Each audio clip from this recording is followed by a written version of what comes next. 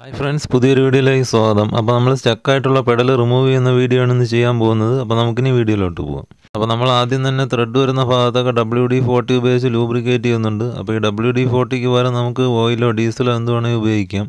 അപ്പോൾ അതിനുശേഷം ഈ ഓയിലൊക്കെ ത്രെഡിന്റെ ഉള്ളിൽ ഇറങ്ങുന്നതിന് വേണ്ടി നമുക്ക് കുറച്ച് സമയം വെയിറ്റ് ചെയ്യണം. എന്നിട്ട് അതിനുശേഷമാണ് നമ്മൾ പെഡൽ അഴിച്ചെടുക്കാൻ പോകുന്നത്. അപ്പോൾ ഇത് നമ്മൾ കമ്പിയൊക്കെ വിളയ്ക്കാൻ ഉപയോഗിക്കുന്ന സാധനമാണ്. അപ്പോൾ എല്ലാവർക്കും അറിയായിരിക്കും. അപ്പോൾ ഇതിൽ വെച്ചിട്ടാണ് നമ്മൾ ചക്കായ ഇവിടെ അഴിച്ചെടുക്കാൻ പോകുന്നത്. അപ്പോൾ ഇത് ചിലരുടെയെങ്കിലും വീടുകളിൽ ഉണ്ടാവാൻ സാധ്യതയുണ്ട്. അപ്പോൾ അതല്ലെന്നുണ്ടെങ്കിൽ തൊട്ടടുത്തുള്ള വെൽഡിംഗ് വർക്ക്ഷോപ്പിലുണ്ടാവും പിന്നെ സ്ഥിരമായിട്ട് ആവശ്യം വരുന്നവർക്ക് ഇത് ഹാർഡ്വെയർ ഇടകളിൽ വാങ്ങിക്കാൻ കിട്ടും. നൂറ് രൂപയിൽ താഴെ വില വരുന്നുള്ളൂ. അപ്പോൾ ഇതൊരെണ്ണം വാങ്ങിച്ചിട്ട് ഏതെങ്കിലും കട്ടിയുള്ള മേശപ്പുറത്ത് ആണിയടിച്ച് ഉറപ്പിച്ച് വെച്ചാൽ മതിയാകും. അപ്പോൾ ആദ്യം നമ്മൾ ക്രാങ്ക് വരുന്ന സൈഡാണ് അഴിച്ചെടുക്കാൻ പോകുന്നത്. അപ്പോൾ നമുക്ക് ക്രാങ്കിനെ ഇതുപോലെ നമുക്ക് ഇതിൽ ലോക്ക് ചെയ്ത് നിർത്താം. അപ്പോൾ ഈ ക്രാങ്ക് സൈഡിൽ വരുന്ന പെടൽ നമുക്ക് ആന്റി ക്ലോക്ക് വൈസ് ഡയറക്ഷനിലാണ് അഴിച്ചെടുക്കേണ്ടത്. അപ്പോൾ നമ്മളിതിന് പതിനാല് പതിനഞ്ചിന്റെ സ്പാനറാണ് ഇതിനു വേണ്ടി ഉപയോഗിക്കുന്നത്. അപ്പോൾ ഇത് അത്രയ്ക്ക് അങ്ങ് ടൈറ്റ് ഇല്ലാത്തതുകൊണ്ട് നമ്മൾ ചെറുതായിട്ടൊന്ന് ബലം പിടിച്ചപ്പോൾ തന്നെ ഒന്ന് ലൂസായി കിട്ടിയിട്ടുണ്ട്. അപ്പോൾ നമുക്കിനി ഇതിനെ ഫുള്ളായിട്ട് അഴിച്ചെടുക്കാം.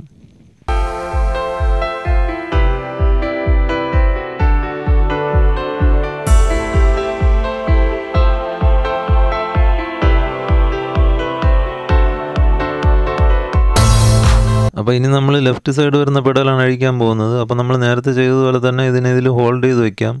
അപ്പോൾ നമ്മൾ ക്രാങ്ക് സൈഡ് അഴിച്ചത് ആന്റി ക്ലോക്ക് വൈസ് ഡയറക്ഷനിലായിരുന്നു പക്ഷേ ഇപ്പോൾ നമ്മൾ ക്ലോക്ക് വൈസ് ഡയറക്ഷനിലാണ് അഴിക്കേണ്ടത്.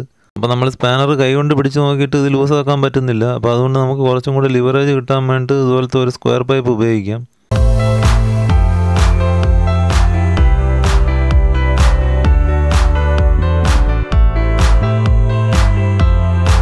അപ്പോൾ നമുക്കതൊന്ന് ലൂസായി കിട്ടിയിട്ടുണ്ട്. അപ്പോൾ നമുക്കിനി ഇതിനെ ഫുള്ളായിട്ട് അഴിച്ചെടുക്കാം.